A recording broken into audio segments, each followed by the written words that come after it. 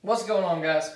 So in this video, I'm going to be finishing the teardown of the Shark IQ and we're going to be going over a few possibilities of what will cause the grinding noise in your robot vacuum cleaner. So stay tuned. All right, so I've got the wheels out, the brushes out, the battery out, the dustbin out, the uh, side spinners, and the front bumper.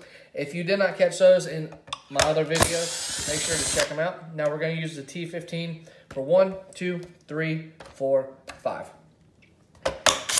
Long shaft, you can get it at Harbor Freight, Amazon, Walmart. I have mine on a drill, which I just broke the handle off and stuck it in the drill. Those five, then your front top is gonna come off.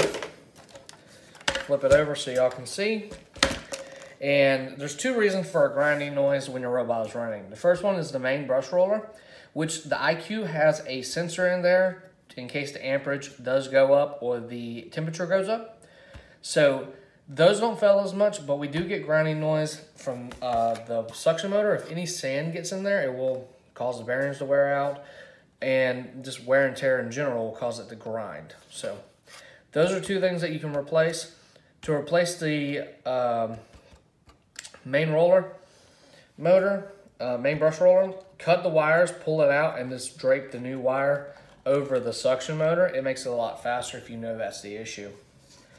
Uh, in, uh, uninstalling the components in this robot are very simple. So go ahead and just pull out a few wires to, so you can get to that screw right there. We're going to undo this Phillips head right here. This Phillips head right here. Now flip it over, undo these two Phillips heads.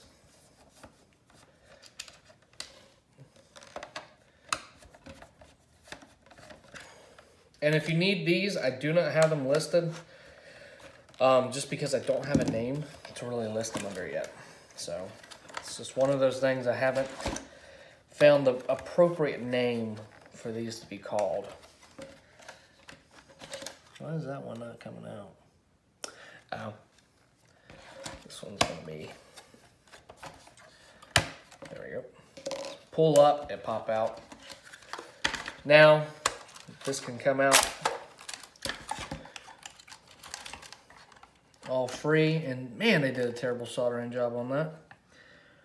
And actually, this one doesn't have the um, sensor. so the 1001 which is, sorry, is the robot over there. It does have a sensor on this. That one doesn't. So that's good to know. I will have to update my listings to with and without sensors, or actually, we'll just call it the 1000.